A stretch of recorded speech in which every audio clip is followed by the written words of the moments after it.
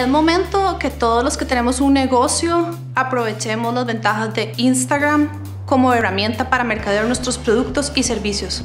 Si bien estamos en un contexto súper complejo, difícil y tal vez no sabemos qué hacer, yo te tengo tres consejos que te van a servir para potenciar tu negocio en Instagram.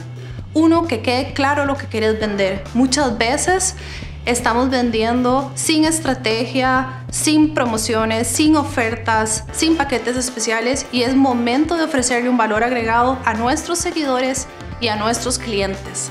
Dos, definir quién es la persona que te sigue en Instagram. Tenemos nuestra audiencia, que son las personas que nos dan like, comentan, pero nuestro cliente ideal es el que nos compra.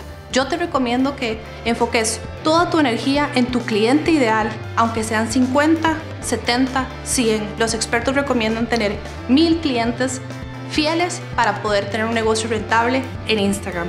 Y tres, tomar fotografías y crear video, porque los contenidos nos ayudan a crear una narrativa audiovisual que te va a hacer diferenciarte de la competencia. Yo creo que estos tres consejos te van a ayudar en esta época de coronavirus.